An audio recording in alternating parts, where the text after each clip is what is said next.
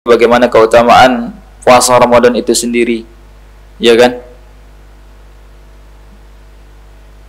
Mendapatkan ampunan, dijauhkan dari api neraka sejauh 70 tahun perjalanan, disiapkan surga, penghalang dari neraka dan lain sebagainya. Itu keutamaan baru puasanya saja, belum lagi sholat malamnya.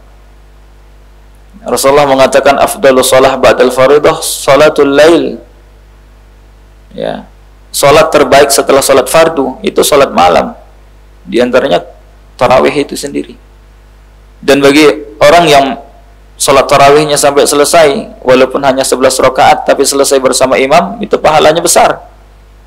Rasulullah mengatakan man shalla ma'al imam hatta yang sharif kutiba lahu qiyamul lailah.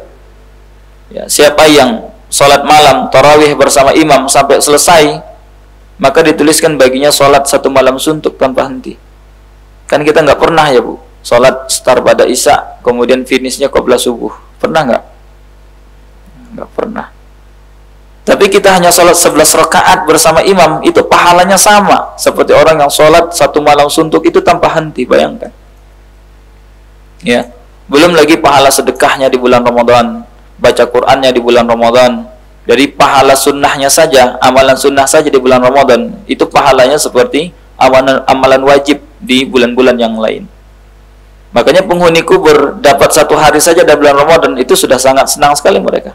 Bisa mereka dibebaskan dari siksa neraka tentunya. Ya diampunkan dosa-dosa mereka. Itu satu hari apalagi satu bulan.